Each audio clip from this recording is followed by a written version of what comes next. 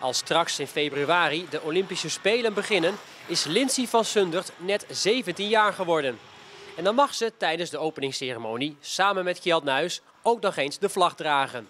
Het aftellen naar de Spelen is nu echt begonnen. Ik lig elke avond in bed en denk ik, oh, alweer een dag voorbij, alweer een dag dichterbij. Dus ik voel wel dat het in de buurt aan het komen is. Dus dat je straks in het vliegtuig zit en onderweg bent naar Beijing voor het eerst. Dat is toch wel iets heel moois wat ik ga meemaken. Dus ja, daar kijk ik natuurlijk wel echt heel erg naar uit. Lindsay is iemand die heel gedreven is en heel respectvol. En dat vind ik als trainer heel belangrijk.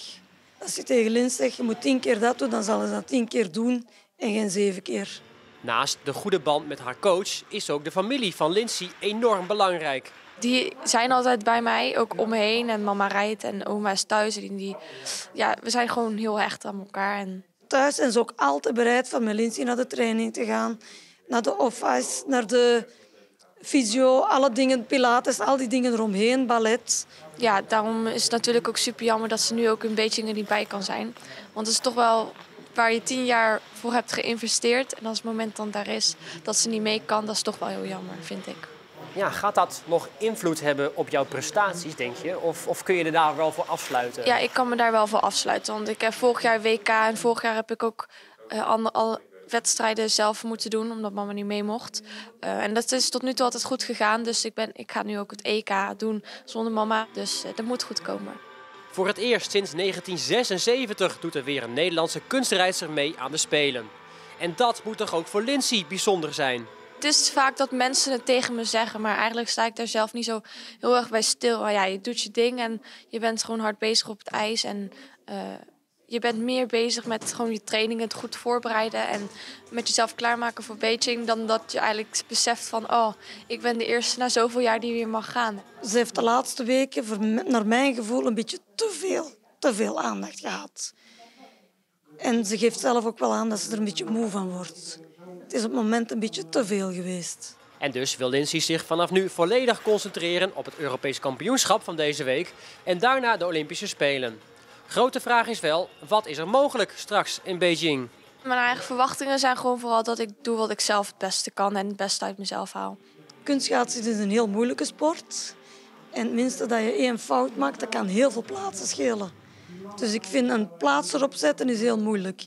Ik hoop gewoon voor haarzelf dat ze gewoon haar persoonlijke beste kuur schaatst. Hoe lastig is dat? Want ja, straks dan kijkt de hele wereld mee. Hè? Iedereen kijkt naar die Spelen. Ik kan best goed met stress of druk omgaan en eh, ik kan me goed afzonderen van anderen. Ja, hoe komt dat? Waarom kun jij je, je heel goed afsluiten dan voor, voor dat soort dingen?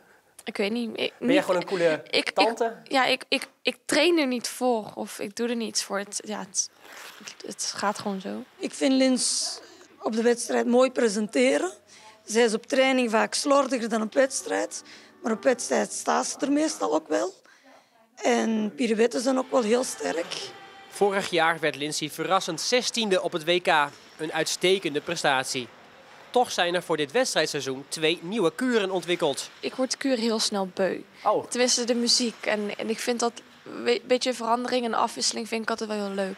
ja, wat is eigenlijk jouw eigen muzieksmaak? Waar luister je graag naar? Nou, Of Spotify? pff, gewoon hitzone. Gewoon hitzone. Ja, gewoon top 40. Niet bepaald dat je denkt van, nou ja, dat soort klassieke muziek. oh of nee, bepaalde... klassieke muziek, daar kan ik niet naar luisteren. Nee?